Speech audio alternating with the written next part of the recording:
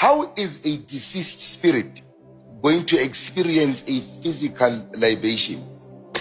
Well, you see, again, um, this person never left because death is not exiting this plane. Okay. Death is like, um, um, I'll use the example um, um, Mutabaruka used. Ne? That um, it's like you get into an open space. You put a building in an open space. Ne? Now, the space inside the building and the space outside the building is the same.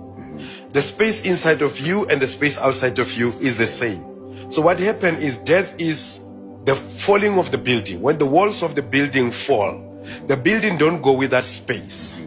The buildings, uh, the, the space, the building goes alone. The space still remains. So when a person die, because this most spiritual cultures, including Haile Selassie, they say they agree to the idea that the body is a temple, temple.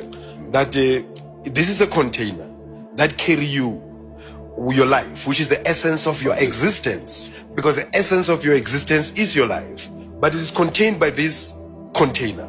Now, when this container goes, it doesn't go With with, the you, life. with the life. It goes alone. That is why when you dream of umkhulu wako, you don't dream her spirit. You see her as she is. Okay. Like she doesn't come as a ghost. That is why we say, "Angiphuphe umoya womkhulu." I dream the spirit of my ancestors. It takes us back to that thing we're saying. There is no such thing as ancestor worship, or that Africans worship the spirit of their dead ancestors. Thank you. Because who comes to you is that same person with the wrinkles and the mark and the scars that you knew that person with. and the Now, mannerisms. now, why would this person therefore want their black label and what, what, what, what? This explained to the idea of existence that in the person of the person, there are many persons.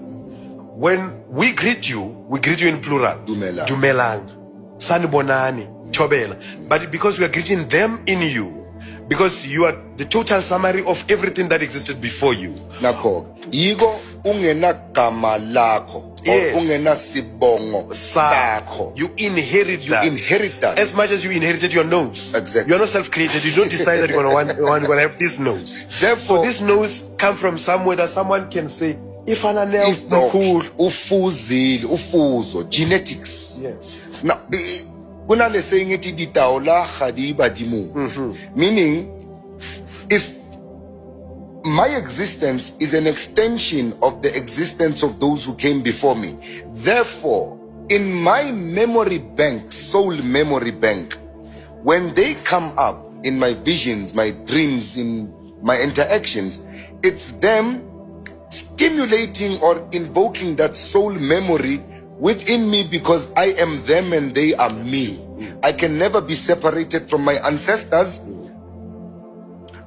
And because I can't be separated from my ancestors, I can therefore never worship them because we are one. Exactly, because this is the same thing. You see, when you say Pabadim, mm-hmm. when you say Okpahla, when you say "Kasizwana batla re ke mosebetsi wa badimo," none of these things refer to worship.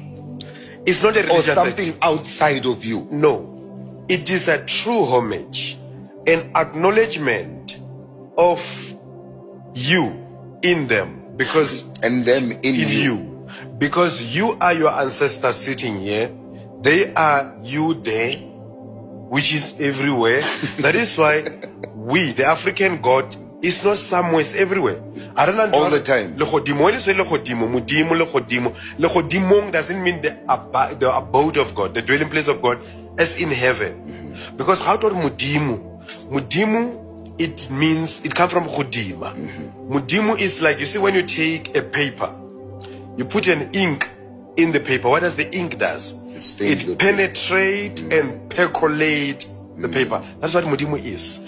Is that which is in everything and everywhere. That's why wa everywhere we don't have a specific place where you go and worship, worship him God. or